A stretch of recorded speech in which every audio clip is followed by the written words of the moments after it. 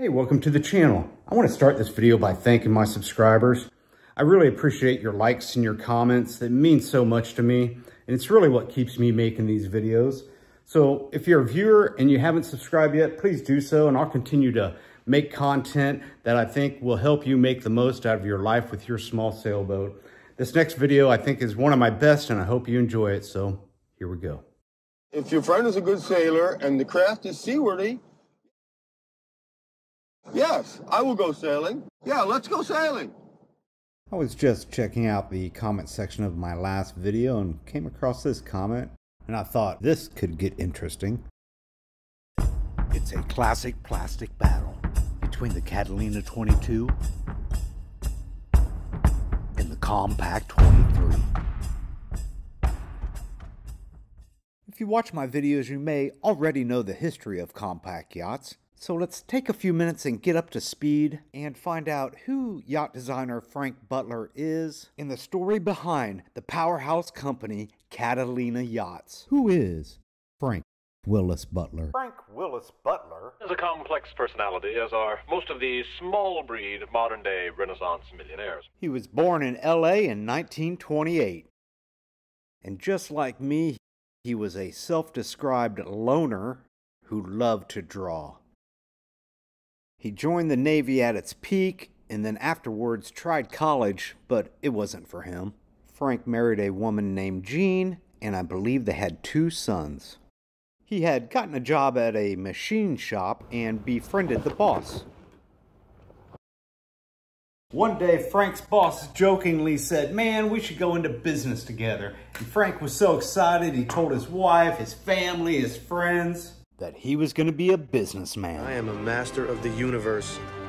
I deserve more. So he was cleaning out his desk in the shop, and all the other employees asked him, What are you doing? He said, I'm going into business with the boss. And then the boss walked up and said, Man, I was just joking. Man, I was just joking. Sometimes you have to slap them in the face just to get their attention. Sometimes the truth is painful, Frank. Ouch.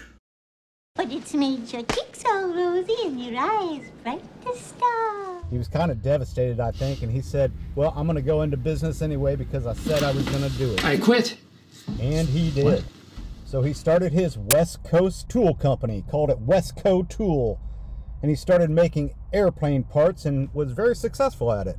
Something happened to him in his mid 30s. He started sailing dinghies, and he got hooked, like all of us altered the direction of his life. Mr. Butler's family was starting to grow, but his boat was staying the same size. You're gonna need a bigger boat. And he had his eye on the Victory 21, a Ted Carpenter design. Frank requested to have one built, and I believe he even paid in advance for the boat. The boat builder had fallen on hard financial times and was having difficulty finishing Frank's boat. He even loaned him money, but the boat builder could not repay the loan. One day, Frank walked into the boat shop and he was fed up that his boat hadn't been done, and he demanded that the builder finish his boat. I'm disinclined to acquiesce to your request. In fact, he said, if you want the boat done, take the tools and do it yourself. Means no. So Frank Butler, being a man of action, did just that. He finished his boat and another 125 Victory 21s. Frank bought the rights to the boats, and in 1964 he founded the company Westco Marine. Westco made a couple design changes, including a self-bailing cockpit and a sliding companionway hatch. Westco Marine quickly became Coronado Yachts and most notably produced the Coronado 25. Westco Marine still exists and is a supplier for Catalina Yachts. You'll find the Westco Marine nameplate on the transom of many of the early Coronado 25s, which was a masthead sloop with a fin and a spade. Production ran from 1965 to 1975. Heavy 25 footer with a 47.78 ballast to displacement ratio, and also had an outboard motor and a well. Man, I'd love that with twin transom hung rudders. Yeah, transom hung rudders on each side of the outboard would be cool like on the MacGregor. Never mind.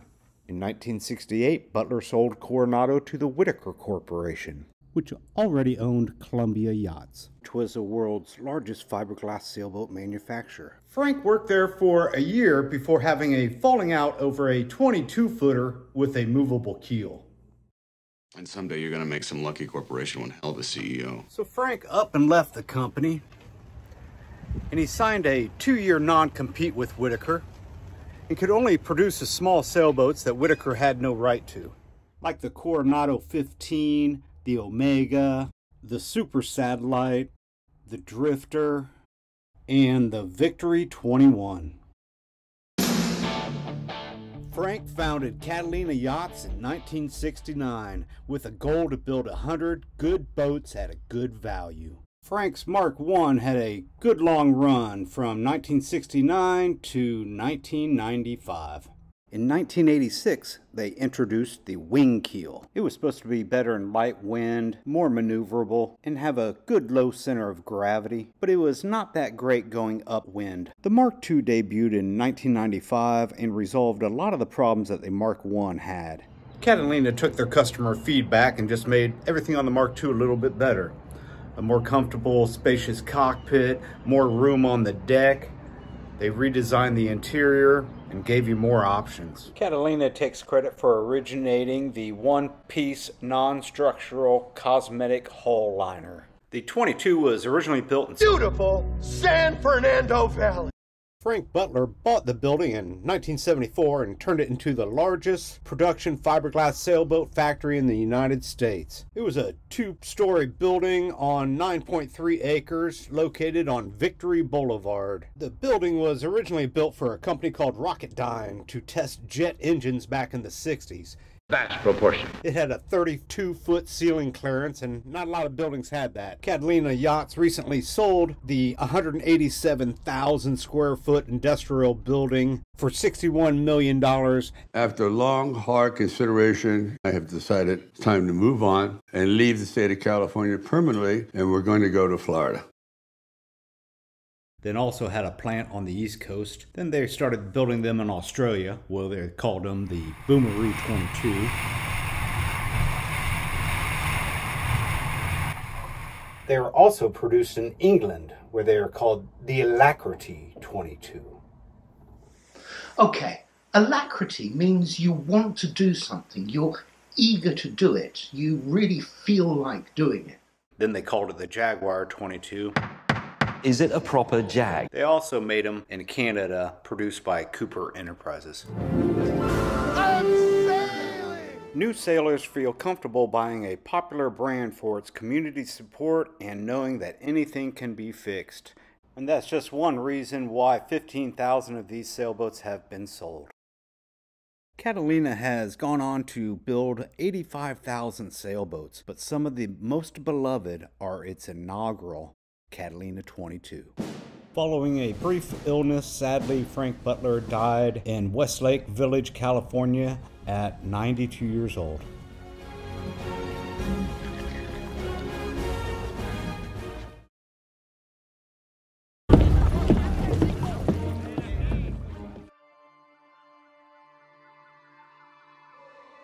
Don't want to hurt any feelings, so if any of y'all Catalina 22 owners want to dump out of this video, now would be a good place. For those of you in the market for a 22 something foot sailboat and would like an objective comparison between the Catalina 22 and the Com Pac 23, let's continue. People rave and seemed to fall in love with the looks of the Com Pac 23 with its classic lines. It's just, it's such a pretty boat. Love at first sight for me. Now, I'm not going to call the Catalina 22 ugly. I'm just going to say she's got a good personality. But beauty is in the eye of the beholder, and it's only skin deep.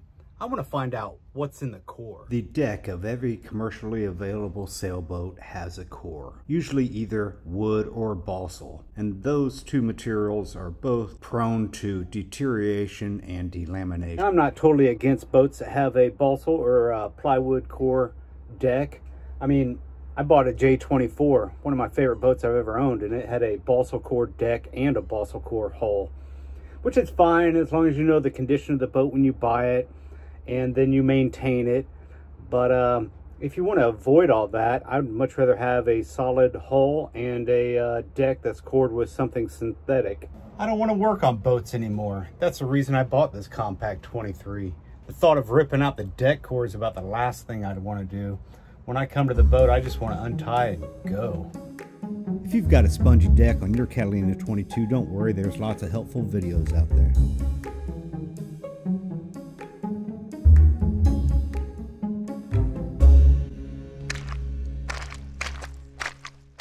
But the deck of a Com Pac 23 will never suffer this fate because the Hutchins Company has chosen to use silica, which is popped like popcorn, form tiny little bubbles, which is then applied with polyester resin in different thicknesses, thus creating a lightweight, everlasting core material.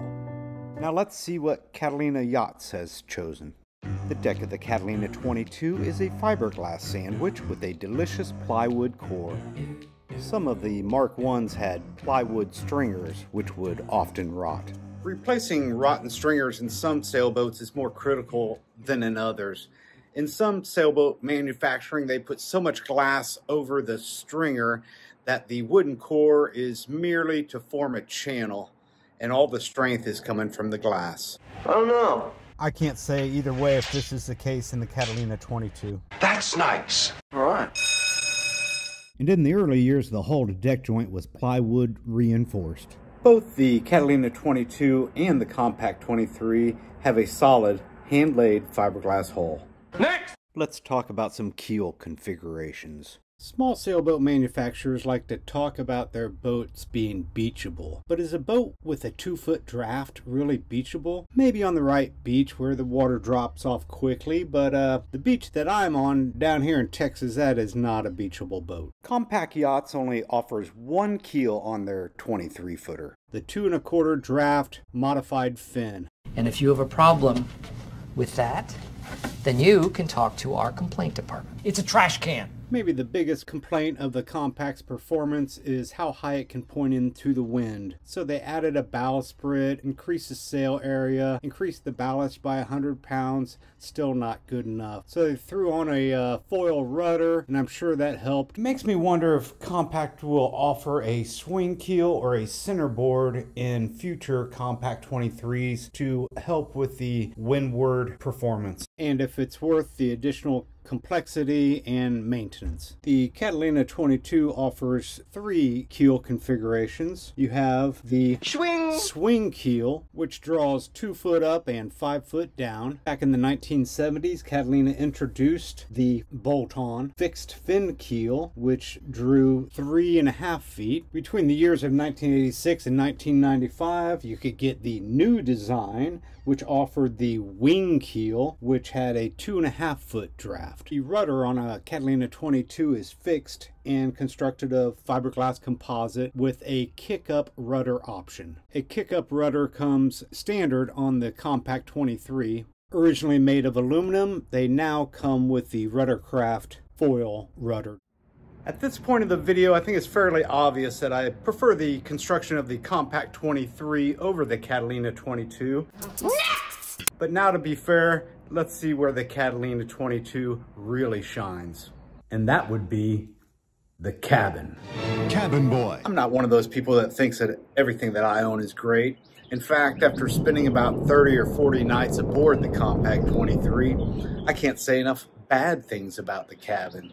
Let's step below and I'll show you what I'm talking about. This is a lot like what the cabin of my Com Pac 23 feels like. Not a lot of room to move around, not a lot of light, not a lot of air. I love the dark wood of the cabin. Kind of feels like a pirate ship, but just needs more space. The interior design of the cabin is based on bulkheads located under the mast to handle the compression and to stiffen the hull. This allows for a two-cabin design which gives privacy for the head located under the V-berth. That's understandable. Roger. Huh? But in later models, these bulkheads were partially cut away to get better airflow, and this undermines the whole head privacy thing. So we are left with a sectioned off cabin with little privacy. Next the settee cabinet design severely limits the sleeping space in the main cabin. The cabinet should be higher and up and out of the way of the cushion. The table design makes it impossible to access half the cabin while it's in place. If everything you're doing is bad, I want you to know this. And now, let's take a look at the Catalina 22 interior. The Catalina 22 interior is bright, open, and usable. Pop the top and you gain 10 inches of headroom. Can you imagine this with isinglass? The Mark I had the dinette table, which I really like. They did away with this in later models and really opened the cabin up.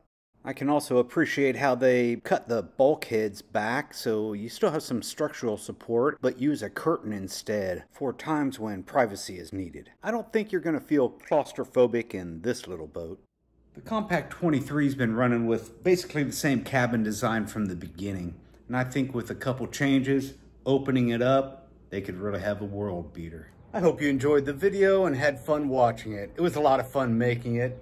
Please hit the like button if you did, and definitely hit that subscribe button, and I'll be back with more videos. See you next time.